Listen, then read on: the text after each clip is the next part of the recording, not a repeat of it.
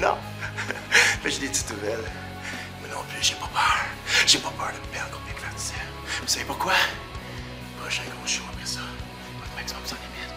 Ça va faire deux ans. Deux ans que je suis champion. Là, on va faire un gros party. On va fêter.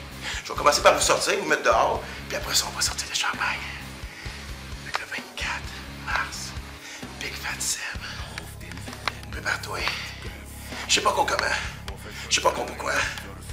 Mais j'ai une vision. Ben, la même que la dernière fois, dans le fond. La vision, c'est John ici, champion de team, ICW.